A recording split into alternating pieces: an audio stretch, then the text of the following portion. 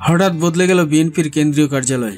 হঠাৎ করে নতুন চেহারায় সেজেছে বিএনপির কেন্দ্রীয় কার্যালয়। রাজধানীর নয়া পল্টনে স্থাপিত এই কার্যালয়ে গ্রাউন্ড ফ্লোর থেকে ছয়তলা পর্যন্ত সিঁড়ি সাজানো হয়েছে নতুনভাবে। দেয়ালে লেগেছে নতুন রং। রয়েছে পোস্টার, না লাগানোর নির্দেশনাও। অনেকটাই চমকে দিয়ে স্থাপন করা হয়েছে নতুন একটি পাঠাগারও। জিয়া স্মৃতি পাঠাগারে দেওয়া হয়েছে ধূমপান না করার নির্দেশনা। এই জানুয়ারি মাসেই অনলাইনে বিএনপির চেয়ারপারসন খালেদা জিয়া পাঠাগারটি উদ্বোধন করবেন। জিয়া স্মৃতি পরিষদের সাধারণ সম্পাদক জহির দীপ্ত জানান, আমরা আশা করি দলের চেয়ারপারসন কেন্দ্রীয় কার্যালয়ে স্থাপিত পাঠাগার উদ্বোধন করবেন। ইতিমধ্যে আমরা এর পঞ্চম প্রতিষ্ঠাবার্ষিকী উদযাপন করেছি। শুক্রবার উনিশে জানুয়ারি বিকালে সরেজমিনে দেখা গেছে কেন্দ্রীয় কার্যালয়ের নিচতলা পরিচ্ছন্ন। নেই আগের মতো দেয়াল জোরে পোস্টার। সিঁড়ি শুরু হওয়ার আগেই ডান দিকে চোখে পড়বে কাঠের লেয়ার দিয়ে বাঁধানো বোর্ড সাটানো। এতে রয়েছে বিএনপির প্রতিষ্ঠাতা জিয়াউর রহমানের উনিশ দফা। এর ডানে রয়েছে নিয়মিত বই পড়তে খালেদা জিয়ার আহ্বান জানানো বাধাই বোর্ড নিচতলা থেকে ষষ্ঠতলা পর্যন্ত এতদিন পোস্টারের উপর পোস্টার সাজানো থাকলেও এখন পরিচ্ছন্ন ঝকঝকে।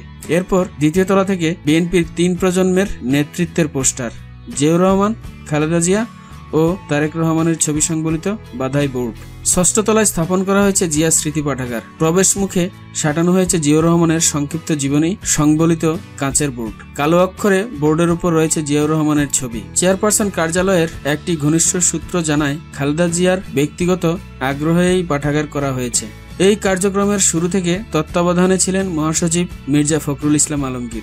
গত চোদ্দই জানুয়ারি রাতে দলীয় নেতা ও বুদ্ধিজীবীদের সঙ্গে বৈঠকেও পাঠাগারের বিষয়টি উঠে আসে। আঠারোই জানুয়ারি ছাত্রদল নেতা রাজীব আহসানকেও খালেদা জিয়া পাঠাগারে যাওয়ার নির্দেশ দেন। ছাত্রদলের নেতাকর্মীদের বই পড়তে আগ্রহী করে তুলতে ছাত্রদল সভাপতিকে পরামর্শ দেন তিনি।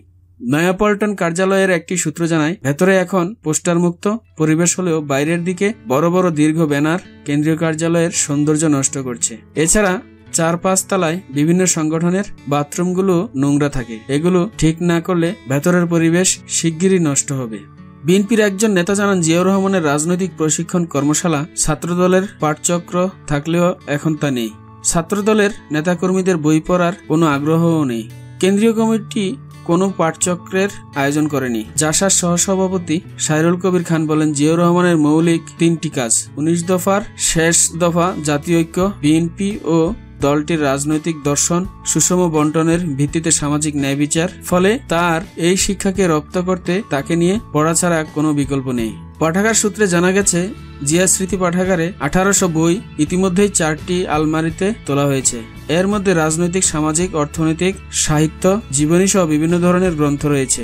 সাংস্কৃতিক কর্মী সাইরুল কবির খান জানান, গত কয়েক সপ্তাহে কেন্দ্রীয় কার্যালয়ের সৌন্দর্য বর্ধনের কাজটি হয়েছে। পাঠাগার, কম্পিউটার, টেবিল সহ নানা উপকরণ রয়েছে। এ বিষয়ে জানতে চাইলে বিএনপির মহাসচিব মির্জা ফখরুল ইসলাম আলমগীর বলেন, রাজনীতি চর্চার অন্যতম প্রধান অনুষঙ্গ হচ্ছে পড়া। এক্ষেত্রে পাঠাগার একটি গুরুত্বপূর্ণ মাধ্যম। জিয়া স্মৃতি পাঠাগারে বই পড়ার সুযোগ থাকবে। নিজেদের রাজনৈতিক উৎকর্ষ সাধনের লক্ষ্যে নেতাকর্মীরা পাঠাগারে আসবেন বলে আশাবাদ ব্যক্ত করেন তিনি। এদিকে শুক্রবার জিয়া স্মৃতি পাঠাগারে পঞ্চম প্রতিষ্ঠাবার্ষিকী উপলক্ষে কেক কেটেছেন বিএনপির স্থায়ী কমিটির সদস্য গয়েশ্বর চন্দ্র রায়। সূত্র বাংলা ট্রিউন ধন্যবাদ।